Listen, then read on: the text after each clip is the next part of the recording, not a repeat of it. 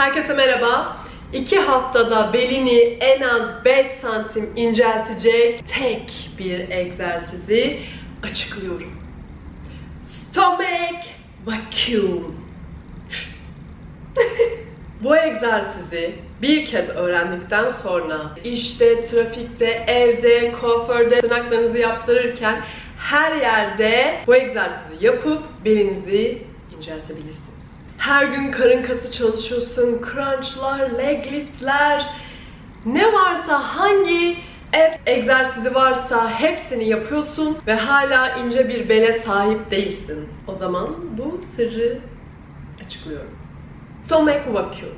Vacuum. Stomach vacuum.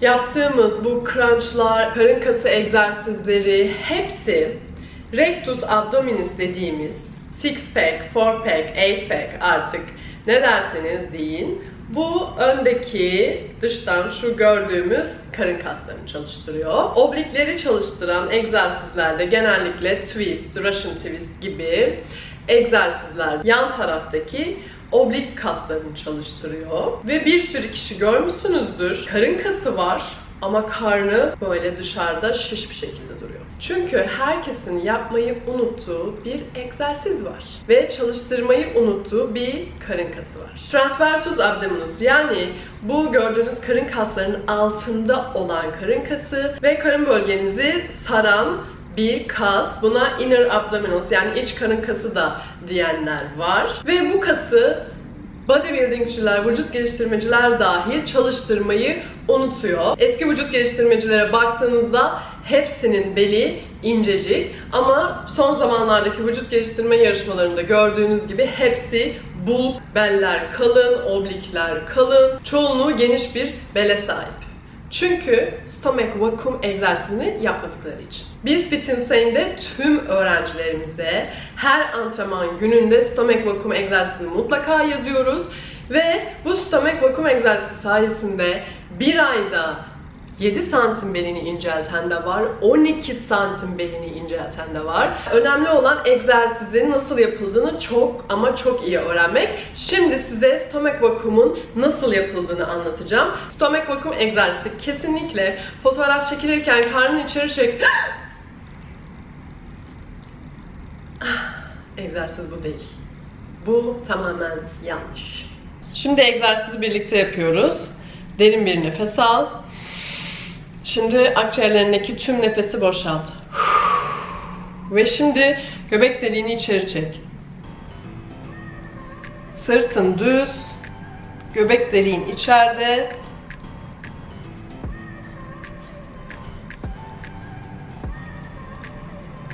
Evet devam et. 20 saniye buradayız.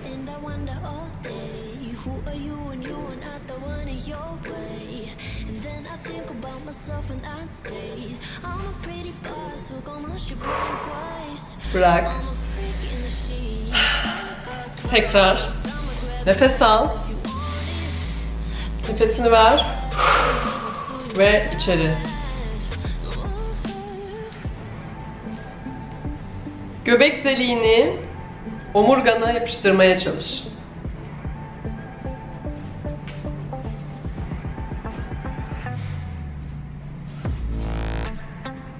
Çek çek çek çek.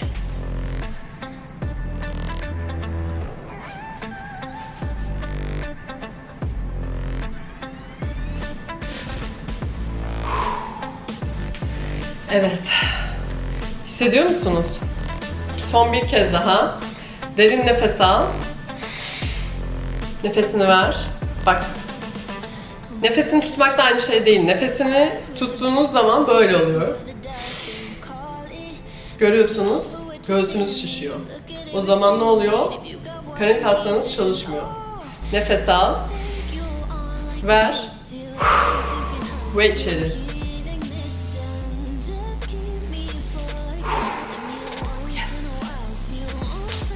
Evet. Nasıl? Şimdiden karın kasları kendini hemen belli etti. Eğer hayatınızda ilk defa vakum egzersizini deniyorsanız bu gerçekten çok zor olabilir ve karın kaslarını ağrıtabilir. Nefesinizi tutmakla vakum egzersizini kesinlikle karıştırmayın. İkisi tamamen birbirinden farklı. Nefesinizi tuttuğunuzda daha çok göğüs kaslarınızı kullanıyorsunuz ve karın kaslarını pek kullanmıyorsunuz. O yüzden e, ikisini kesinlikle karıştırmayın. Bu yüzden diyorum ki ilk önce akciğerlerinizdeki tüm nefesi verin. Ondan sonra karnınızı omurganıza yapıştırmaya çalışın. Derin bir nefes al. Nefesini ver ve karnını yere yapıştır.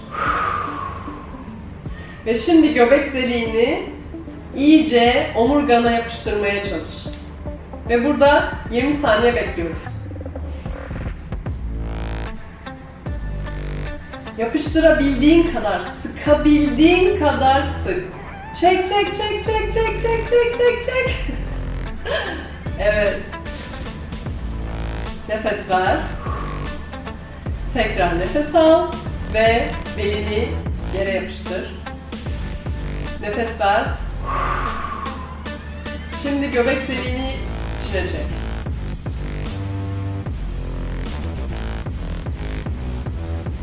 Burada kal, çekebildiğin kadar.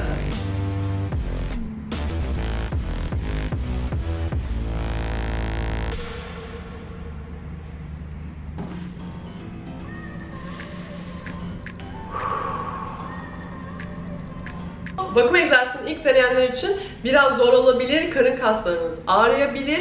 O yüzden ilk 10 saniye şeklinde yapabilirsiniz ya da içinizden 10'a kadar sayabilirsiniz. 10 saniye şeklinde ve 5 set olarak yapın. 10 saniye sayın, tutun, bırakın. Sonra tekrar bir 10 saniye daha yapın. Böyle böyle karın kaslarınızı alıştırın ve güçlendirin. Güçlendikçe bunu 20 saniye, 30 saniye çıkartıp set sayısını da 3'e indirebilirsiniz. Yani 3 set 20 saniye olarak. Bu egzersizi ne kadar iyi yapmayı öğrenirseniz ilk başlarda yapama yapamadığınızı fark edebilirsiniz. Sorun değil. Ama ne kadar iyi yapmayı öğrenirseniz etkilerini de o kadar iyi bir şekilde alacaksınız. Şimdi hemen belinizin ölçüsünü alın ve bu egzersizi yapmaya başlayın ve her hafta belinizi tekrar ölçün. Sabahleyin aç karnı ölçün. Stomak vakum egzersiziyle ilgili sorularınız varsa, anlamadığınız yerler varsa yorumlara mutlaka yazın. Biliyorsunuz ki tüm yorumlara dönüyorum, tüm soruları cevaplıyorum. Heyecanlı bir şekilde sonuçlarınızı da bekliyorum. Bu videoyu beğendiyseniz mutlaka beğendim tuşuna basın ve kanalıma abone olup yanındaki zil tuşuna basın ki hiçbir videomu kaçırmamış olursunuz. Sizi seviyorum. Görüşmek üzere.